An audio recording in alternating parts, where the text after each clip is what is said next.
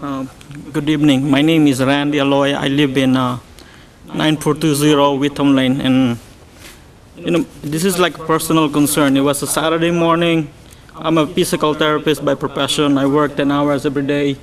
There's a research been done that if you're a medical professional, you should, you should be able to sleep at least eight hours on a regular basis just to be able to provide good care for your patient. Early morning Saturday, 7 o'clock in the morning, those I don't want to they call it bulldozer dump trucks it's like plowing that side behind my house and really noisy. It really makes makes me awake. It's really frustrating to have those kind of noises. I listen to a lot of hard rock music.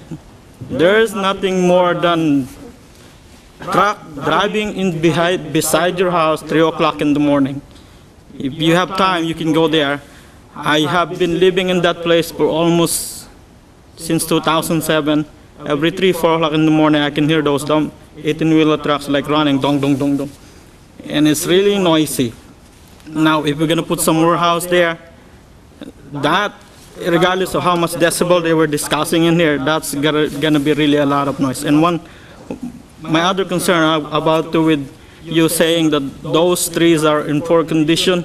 Like I said, I've been living there since 2007. I have observed those trees change colors every change of season. I've seen some fox animals, wild deer for more than like 10, 15 occasions in there. For me, that justified that those trees are not in poor condition. And, you know, I like that area be- be- before I bought my house because you have good, nice view on the back of my house and to put warehouses, which they said they're gonna put a lot of trees. And drivers or driving there, we're not gonna be able to see those buildings. I just don't think that it's accurate now. If you're living in that village, you definitely see those warehouses. And it's, you know, like a stone in the eye. Thank you.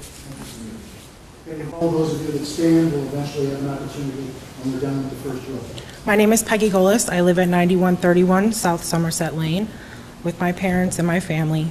My mother already spoke. My biggest question is, where are the EPA studies? Where are the sound studies? Where are the tree studies so that the village residents can view these tests that were done? Can anyone answer that? You said there was a sound study that was conducted. Where can we view that? No, I did not say that there was a sound study from us. The uh, developer did um, have a consultant evaluate the impact and the benefit of businesses as they would be developed and how they would buffer sound from the tolling. Certainly, we'd be willing to provide that to. Okay. As to all the other studies, uh, we have them in the Community Development Department. We're happy to provide them to anybody who makes an inquiry. Great. Thank you. Thank you. Okay, the second from the back row.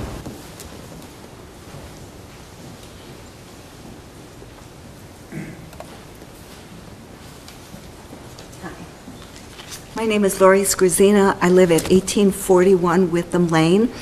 Um, It was just a short time ago that our bedroom window, I back up to Frontage Road, and we can see Frontage Road very well, as well as Woodward, and I looked at my husband and I said, "I know you hate the noise in this house." I said, "But if you look out this bedroom win- window, it's quite beautiful. The trees, the the couple houses next to us, the landscaping was beautiful." And a few days later, I came back into town, and it was all gone. Um, I know whatever your map shows on here, it looks like there's actually going to be a little bit distance from the frontage road to where the entrance to where the trucks are going to be coming out of. I want you to go and look at that because I actually can stand on my deck in my backyard. You can't have company because it's way too noisy, but I stand out there and I do wave to my grandson as his school bus comes over the I-55 expressway, and he can see me from that school bus. I can walk in a matter of seconds from my house to that corner, okay, at Woodward. There is no space where that road could be any distance, because as soon as you get to that corner, you start walking up and you're walking over the expressway. My view will now be nothing but trucks coming back and forth, because like I said, I'm right at that frontage road. You're talking about 400 trucks going in and out of there. I, I know they're gonna go, they're gonna turn right and they're gonna go over the expressway, but once again, there's no distance from where frontage road is to where this road could be starting for these trucks. So, once again, if you would just look at this map and really see how this is, but for anybody that has a house along that frontage road, unless you're going to put up a whole bunch of trees for us or something, and there is space if you want to do that, but I'm telling you, it's really not going to be nice, because you can't go in your yard now, and you're certainly not going to be able to go into your yard once these trucks are running 24/7 on, in and out of there. Thank you. Good evening. Uh, Joe Marsiglio, 1660 Chaucer Lane. I know you went over the revenues and projections, but what are the additional costs to the city for this project and the additional costs over the next 25 years? What study was done on that? I'm sure our officers here are going to be taxed a little bit harder. Police depart, or fire department's going to be taxed harder. Uh, Anything done there? That's, that's the first question. That's for, I'll just let you answer them as I go along. And as part of the development proposal, the uh, developers were required to submit a tax, school, and impact analysis. And this looks at not only the proposed revenues that development, and what we're referring to as the entire 80 acre development would provide, but it also looks at what are the potential costs, so that you could evaluate the net benefit in terms of tax dollars to the village and the other um, taxing bodies. For the village specifically, uh, and this is excluding Edward Don because of, uh, and the the incentives that are provided for there. The annual revenue initially to the village would be about $416,000 a year. The annual cost, about $177,000 for a net benefit of $214,000 to the village. To the other taxing bodies, based on full build-out of the proposed business park and the 80 acres, uh, the benefit annually, annually would be $1.1 million. Okay. Uh, In regards to your sound study, um, it seems just to be a little bit ina- inaccurate um, that was done by whoever it is over here. Uh, Most of those trucks aren't going to be going 40 miles an hour down that uh, road. They're going to be starting and stopping, which creates a lot more noise than just a truck going at 40 miles an hour. You're you going to do a study in regards to that, to the real-life scenario, rather than a make-believe scenario? There's been no uh, further study done. That's the analysis. So you're ready to go ahead with a project without having full data in that regards? That will be a decision by the village board as to whether additional data is necessary. Okay. And lastly, just so other people can speak, yeah, it's a huge difference between an office complex and a warehouse complex. Um, We already have an office complex off of frontage and Lemont Road, which doesn't seem to cause that many problems, but a warehouse complex can obviously cause a lot more problems. Um, And I don't know if you can put restrictions on uh, in regards to that, but I think one of the other residents said, you know, maybe biohazards they might be doing there. There's a lot of different things a warehouse can do, and just because Edward Don's going in there today doesn't mean they can go out of business in two years and somebody else can come in. So please take that into consideration. Thank you. All uh, hazardous materials, MSDS, is required by our ordinance and by statute to be shared with all public safety. And that's with our, ourselves as the Village of Woodridge, we're our emergency management agency for the community, as well as the fire district, uh, Darien Woodridge Fire District. When we see something that is unusual, and almost all, everybody has some hazardous materials in their homes, whether it's bleach, uh, uh, those things that you put, I put under my sink, I guess, is where I put mine. Um, Once we see something that's unusual, we will work with those groups, and we will develop specific responses for those. Um, I was just trying to think as we were talking, there's only one or two facilities down in that park that have anything that's unusual, uh, that, that would concern us, and that's nowhere near where this is being built.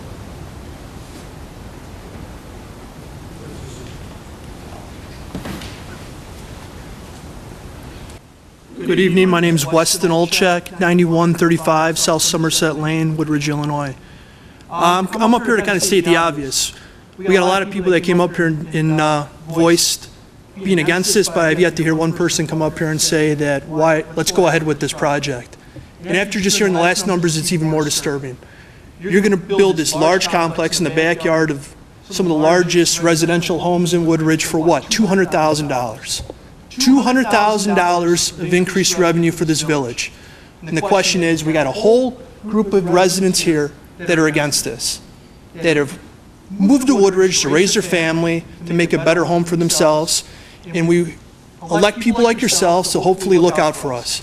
But it looks like tonight, instead of looking out for the residents here in Woodridge, we're looking out for three groups of individuals. We're looking out for McShane, we're looking out for Gallagher and Henry, and we're looking out for Edward Don.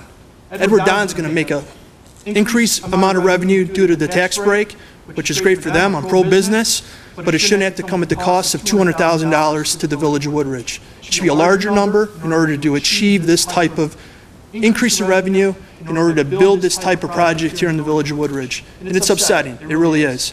Because unfortunately, I've had other dealings here with the village, and there's one reason why this project is going through, it's because the landowner is who they are, They've done so much business here in the village, and it's going to go through. And it's very disheartening, and I hope everybody here on this board looks deep and asks themselves, hey, if I lived in this subdivision, if I lived near this project, would I want this in my backyard? Because I know I don't. We got a group here of individuals who don't want it in their backyard. And I hope you guys all think really hard.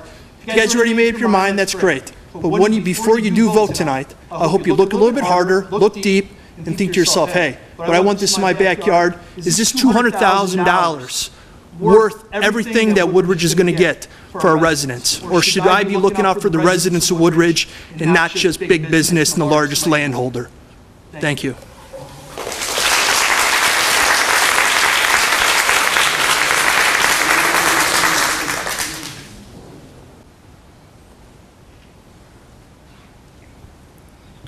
Um, my name is Perry Patel, and I live in 9220 Bedford Drive, Woodridge. Um, most of my concern has been addressed with uh, previous friends and uh, families, but a couple things I would like to address is one thing is speaking from my own experiences. Um, I drive every day to the International Parkway, and I see every other day the truck driver either they can't make a left turn right to the the warehouse or whatever the building it is. They take almost 10, 15 minutes just to make the turn.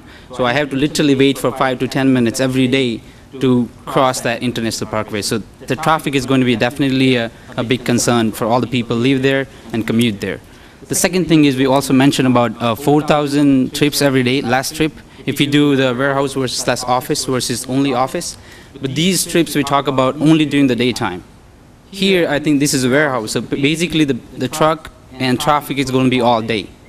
And I think, and like everybody mentioned, the noise is going to be very, very disturbing. So basically, at least people, they work every day and they at least expect a good sleep, right? So if you have a truck going down every day, and especially in the nighttime, that's probably not going to be good for anybody. And third thing is everybody work really hard for their their house, right? This is the biggest invest, um, investment. So I mean, right now economy is bad. Therefore, 1K is probably very down. And a lot of people lives in the Woodridge house. They are all senior citizen, right? So if this is the only thing they have right now, because of the economy, they probably don't have a job and they're barely making their, you know, trying to pay their bills and you know pay all the whatever the dues they have. So if if the property value goes down, then they have nothing to hold on to. So please uh, keep all these things in your mind when you, uh, in your mind when you vote. And another thing which I also repeat is just think: Would you like to have a warehouse in your backyard before you vote? I mean, if the answer is yes, I mean you can vote whatever the way you want to. But I think that I think please keep that in mind. Thank you. Other individuals in that row, please come forward.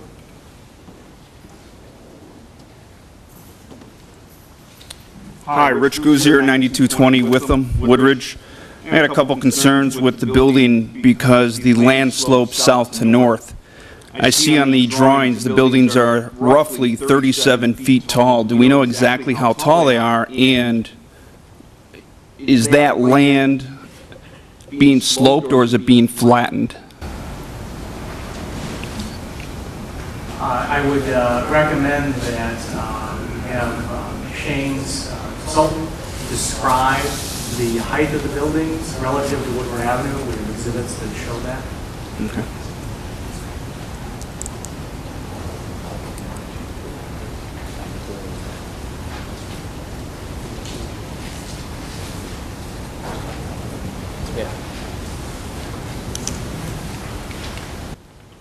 Uh, Brett Duffy, Spaceco, 9575 West Higgins Road, Rosemont. Um, The property is uh, being, will be mass graded to, uh, it does slope from uh, south to north and then from, uh, partially from west to east. It will be leveled uh, to put the building pad in. The building will be, uh, the finished floor will be roughly about 10 feet above Woodward Avenue and another 35 feet high to the top of the building.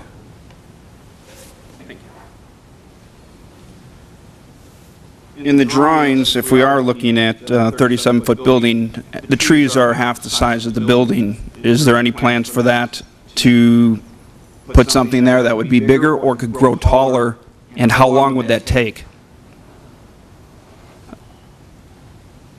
The, um, something I had for the Edward Don Company is, how many shifts does the Edward Don Company have? I work for a family-owned business, and we only have one shift, but I'm wondering how, many different shifts and what time of the day do they start, so I know what time traffic's going to be heavier at. We also heard that you're going to have box trucks, or I'm sorry, 24-foot trucks. Are they box trucks, flatbeds, tandems? Family-owned business, we have over 150 trucks with all different types of size engines and things. And um, I know someone already talked about first gear and second gear. Um, If anyone has a stick shift, to get in out of first gear, you've got to rev that thing up to 6,000 RPMs or higher. It's going to be a lot louder, and if it's only 300 feet away from that one corner, those houses are going to get the brunt of that noise. I know there's no studies, but please keep that into consideration. Where the trucks come out, where you're proposing the south end of the land, if that is roughly higher than the houses, all those semi-trucks are going to be pretty much eye level at the houses or second floors. So they have to consider that those lights from those semis turning right all day, all night long will be shining into those houses on the corner and down the frontage road. Did you look at how much closer that stop sign or the new south entrance is from the bridge? You take a 52-foot semi, stop on Woodridge heading north. How much time does a, do the kids out of the movie theater have time when they come over that bridge? I know the roads were planned there uh, much later, that the streets are much further down, but this new stop sign or new entrance is going to be much closer to the top of that bridge. I didn't know if that was a concern. Would the village propose a tax credit if this goes through and we are complaining about noise to seek other options of saying, we'll give a tax credit to sound deadening windows, different types of drywall and building products? That'd be something to look at to at least help us out with the sound.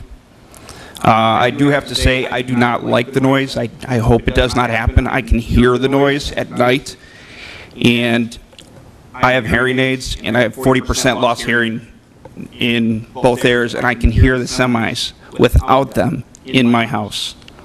I just hope you don't do it. Thanks.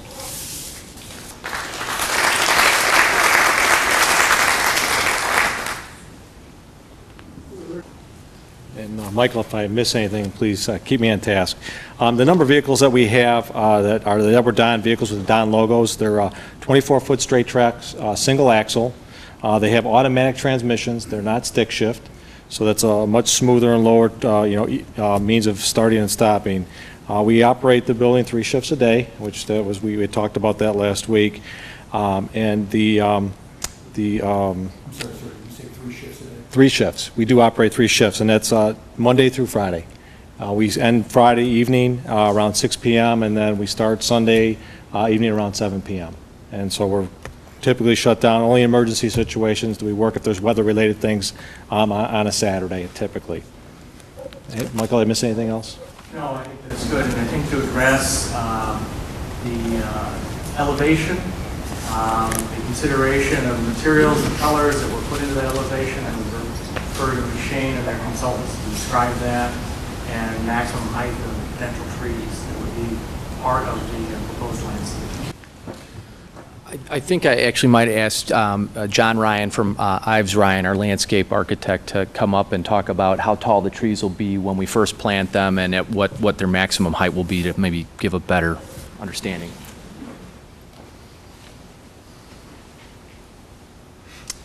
John Ryan, Ives Ryan Group, 324 Eisenhower Lane, Lombard. One of the reasons for setting the building back considerably further than 30 feet, actually 139 feet, is to give us the ability to install waves of trees as opposed to just a single row. Um, We have existing trees as our first wave, which are the existing parkway trees, which are currently in the area of four to six inch in caliper, or four to eight inch in caliper, uh, many of which are 25 or so feet tall uh, as we speak. Uh, Immediately starting on our property, we are creating a series of berms with large groups of evergreen trees, which at the time they were planted would be anywhere from 8 to 14 feet tall, and then add 2 to 3 feet to each one of those heights for the, the berm that they're sitting on.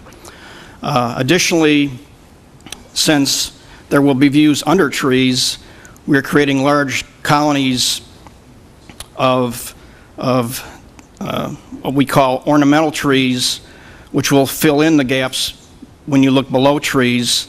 Uh, These uh, are planted all along Woodward, in between the evergreen trees. Immediately behind them are more deciduous trees, which we have upsized from the existing, from the uh, required two and a half inch to three to four inch. So at the time of planting, they will be in the area of 18 to 20 feet tall. And then up against the building itself, on the other side of the detention pond, we have additional large groups of trees, um, which are ornamental type trees, which we're basically planting in groups of eight to 10, which, with three trunks per tree. So you have at least 20 trunks in a group, and those trees are being planted in the area of 10 to 16 feet tall. Um, So the idea is to have wave after wave after wave of, of trees, uh, as well as shrubs filling in the gap below the trees. And you can expect, uh, once the trees are established, after the first year, probably each tree will gain an additional foot per year uh, during the worst of times, and hopefully more if, uh, you know, the weather cooperates.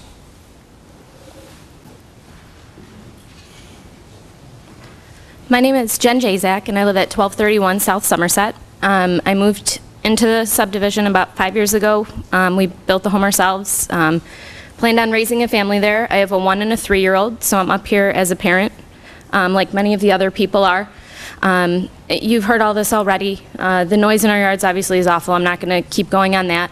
Other things I'm concerned with, we have a lot of issues in my backyard. I'm assuming a lot of people. I live along the retention pond.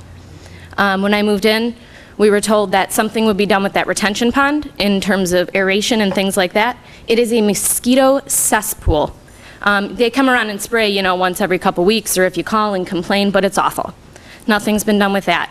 There is a wildlife area, not wildlife, excuse me, natural life area between my home and the retention pond. They took down sod of everyone that put it in after two years of waiting and put up their plan that they went ahead with. It has not been maintained. It has since ruined my lawn. I just paid $500 to have my lawn fixed. Um, and not to mention, you know, the sound in my backyard. I won't take my kids in my backyard. I barely take them in my front yard. Um, all of these things, I have tried calling the village. I still am waiting for someone to call me back about my grass and dealing with that. My question is that all of these things have, I've been told are going to be done. I was told, oh, they're going to have to do something with the sound. They're going to do something with the pond. Oh, we'll take care of that natural grassland area for you. Nothing gets done. So how can we sit here and hear you say, well, the police are going to do this, the village is going to do this, uh, all this natural beauty is going to be around the sub, this uh, buildings here. How can we trust that all that's going to get done when nothing has been done with our property at all? And when we have tried to initiate something getting done, we're just shot down. I know I turned in those papers, um, and I, I was one of the few, one of the people that said, I will cut you a check right now. I don't care if my share's five grand. Here you go. Put it towards the sound wall. And then we were shot down. So how can we trust that all these things regarding this property will get done? Uh, my second issue is I was kind of calculating on my calculator here. Should there be residences in this area? I think I figured about 200 to 240 residences on an 80 acre piece of property. If each home paid $8,000 a year, comes out to anywhere between 1.6 and 1.9 million dollars. And yet, what was that figure again that we're getting from this business in tax revenue? Total revenue uh, for the village over a 30-year period would be approximately $30 million. My 1.6 to 1.9 is per year, if you had 200 homes in that 80-acre area. Now, I'm, I'm assuming that if you have $1.9 million of tax revenue, um, the costs aren't $1.7 million to net us that $200,000 that were coming up. So again, as people were saying, isn't there a better use of this land? I'm all for business, I'm all for making it a better place to live. Um, One of the few meetings I was at regarding the sound wall, I was, I remember a comment very vividly, I believe it was by the village attorney, where I was, everyone was told, "We didn't ask you to live here." I believe on your website it says Woodridge is a good place to live. And I chose to come here and raise a family. And you know what? I can't sell my house. I paid almost a half a million dollars for it. I can't even get it refinanced because it's worth 350. One of the comments on my appraisal was noise. One of the comments was, uh, I forgot something about the strange growth in my backyard. Um, and I put, you know, 20 grand into landscaping and it's ruined from that ground that's not being taken care of. So again, I, I'm all for it if it's a good thing, but when are you going to do something for us? And you know what, someone mentioned putting trees along frontage. Take some of those hundreds of, I forget what the guy is, take some of those hundreds of trees and please plant them along frontage then. With all this increase, do something to show us that you care and you're going to do something for that area. Half a million dollar homes and we can't get anything. Can't even barely get, I'm surprised we're getting heard today and I appreciate it. So, thank you.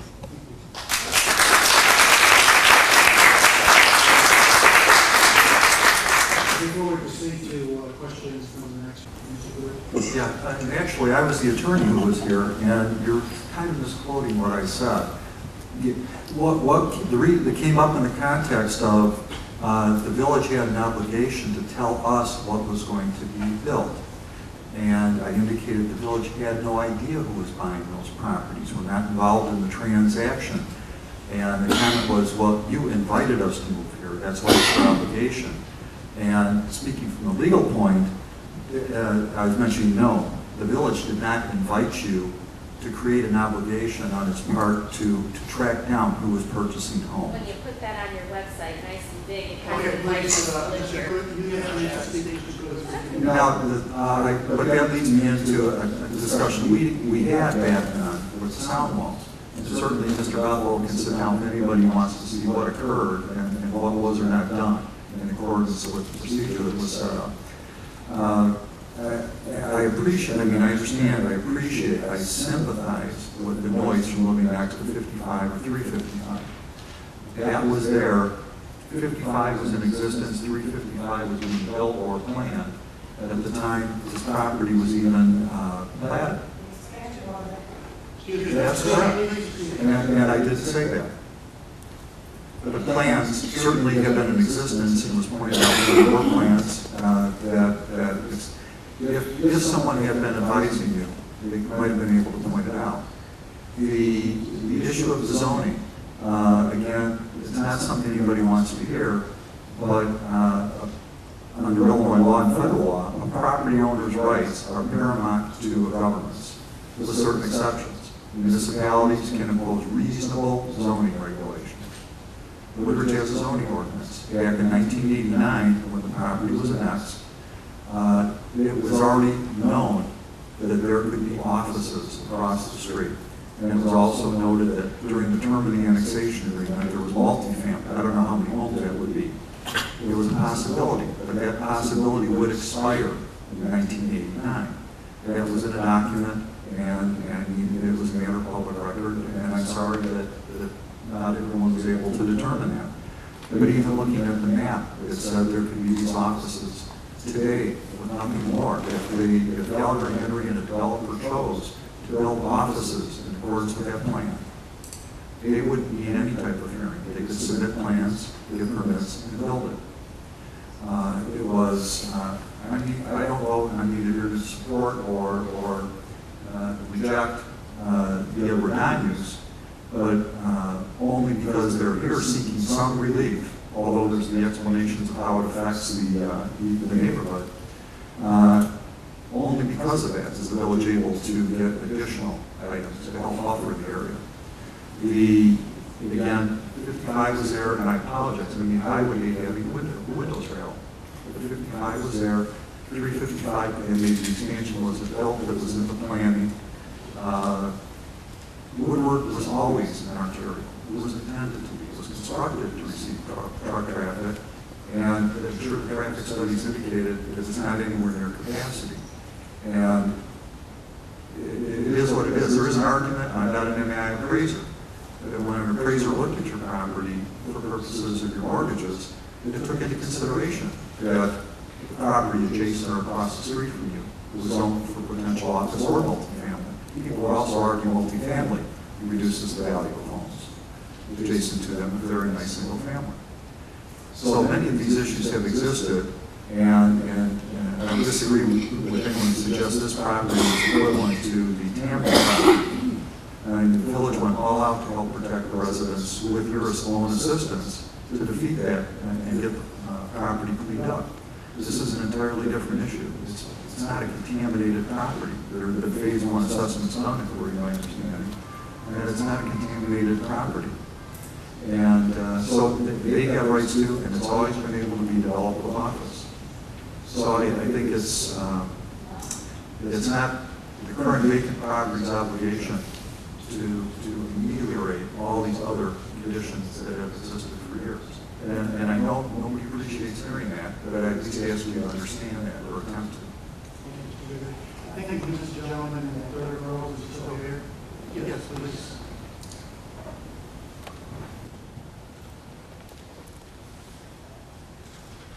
Barry Lekowitz, 9621 Witham Lane.